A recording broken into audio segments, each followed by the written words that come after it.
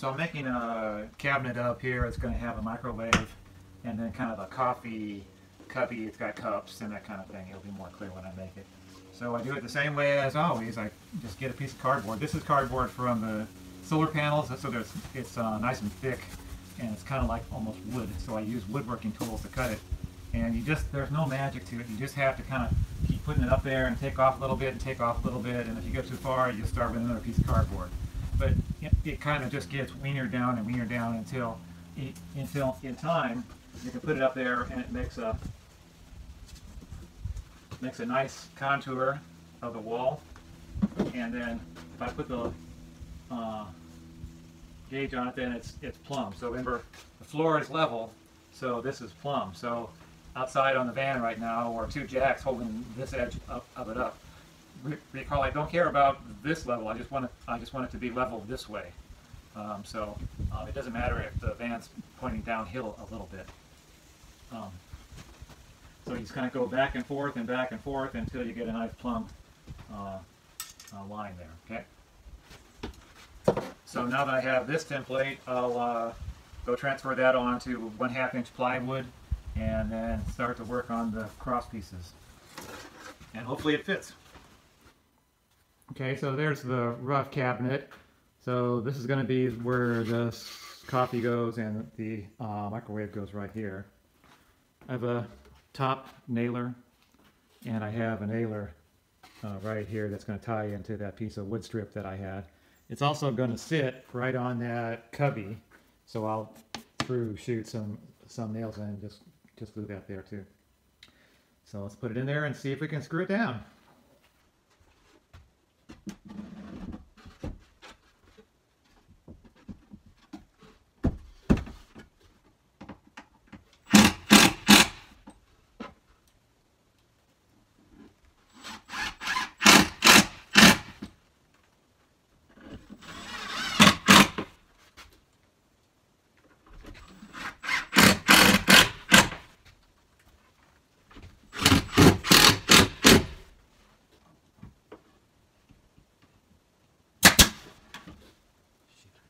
close.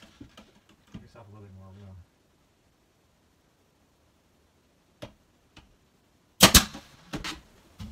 Okay, so all that's going to need then is a face frame, and I'm going to put some uh, uh, that real thin nap uh, just carpeting that you put in cabinets. It looks nice and it doesn't vibrate in, and it's nice. So, so the reason we went with this style, and it's all an experiment, is that last time with the last van we had a coffee cabinet right here which had coffee and cups and that kind of thing and then a microwave right here which put the corner of the microwave like right out here. So it cut down on the counter space you know you're kind of looking down into the cabinet the, the like the top right here. And my wife was always hitting her head on the corner so that's not that's not good. So yeah this does kind of cut down your counter space here. I've got a deeper cabinet I'm going to put in now. I'm going to put it put in a 20 inch cabinet you know instead of a 20 of a I put a 16 in the Sprinter, so there wasn't much counter space to start with. Um, so you shouldn't hit your head on that. The one, the one thing that's weird is it kind of comes into the bed, but that's, you know, there's only so much room. Um, so face frame and then start on the two bank of drawers right there and then uh, the fridge cabinet. And then we'll wind it up another month probably. Okay, so there's the finished uh, cabinet with the face frame and the microwave. I just put some basically carpeting in, inside. It really cuts down on the vibration and the chatter. And up here I'll put some more some carpeting too. And uh, that's it. So just to show you again, this is just a square piece of cardboard. It's cut out to the rough dimensions of what I'm going to have this. Uh, this is a DVD cabinet uh, that's going to hold uh, just DVDs here and then books right here.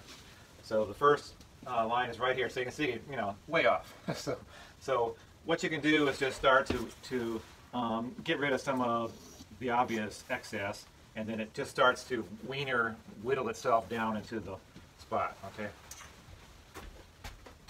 So that's better. You can kind of start to see some of the shape coming up there. So now I have a compass, and you just set that to the widest part. Now, it's got to be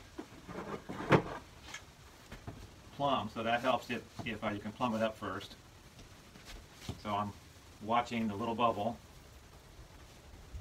And that gives me kind of a way I can figure out this, uh, this contour.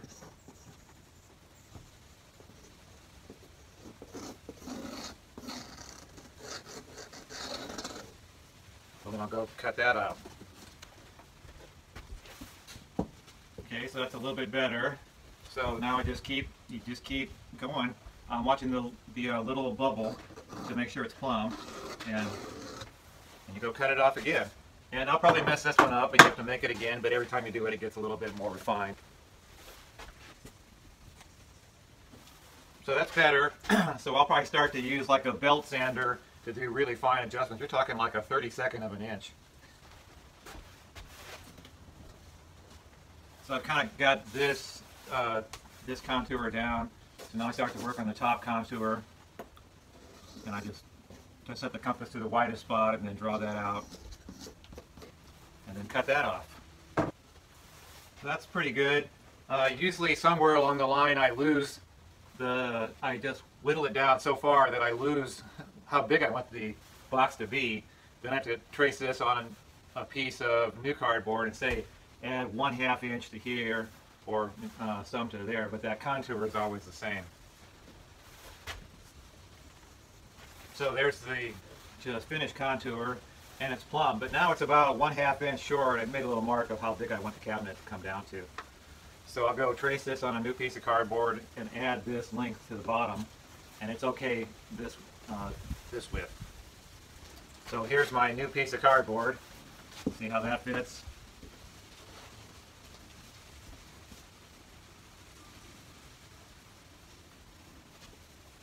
Needs just a little bit right here, so I'll take the belt sander to that. It takes time, remember?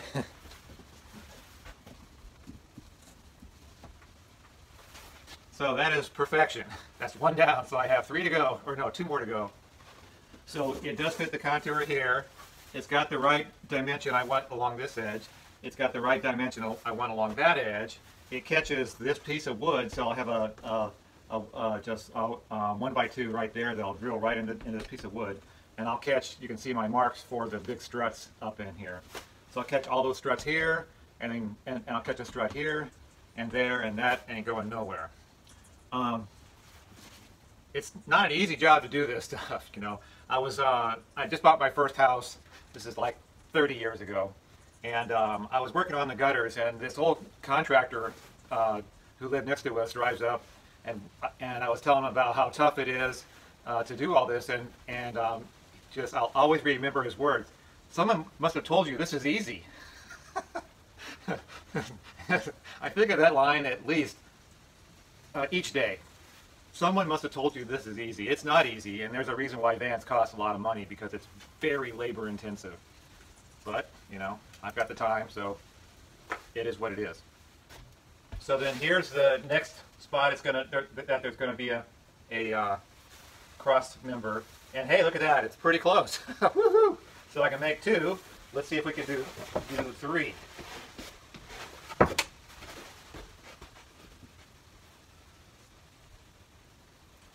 So that one's, you know, close enough. I, I think I'm going to be able to just make three copies of this. So there are the rough cut pieces of uh, uh, plywood that I, that I drew right off of that cardboard template.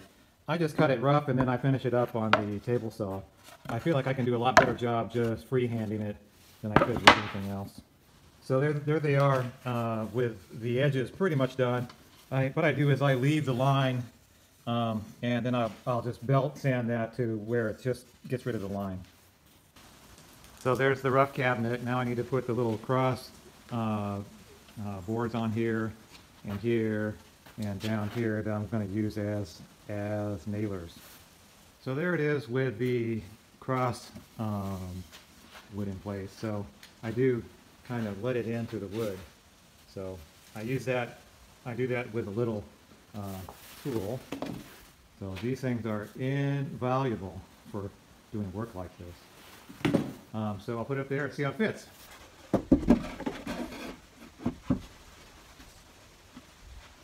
Hey, that's pretty nice. I'll take it. Now I make marks where the uh, roof struts are going. So I'll pre-drill those holes. So I'm going to screw here, here, here, and then here. And then put the face frame on and start building that cabinet down there.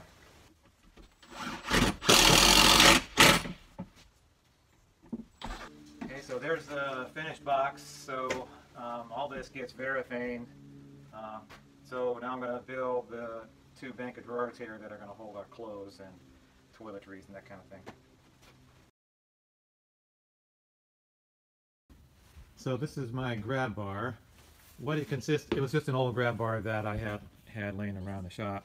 So what you do is you just take and pull off this, pull off this bit of trim.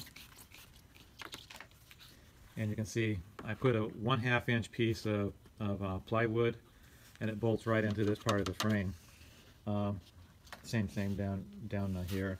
Now before you go screwing the big long screw, you always want to look, you know, you can pull parts out and kind of looking looking in back of that to make sure there's not a piece of wire like right there. Um, but that's pretty much it. Uh, some self-tapping screws and bada boom, bada bing.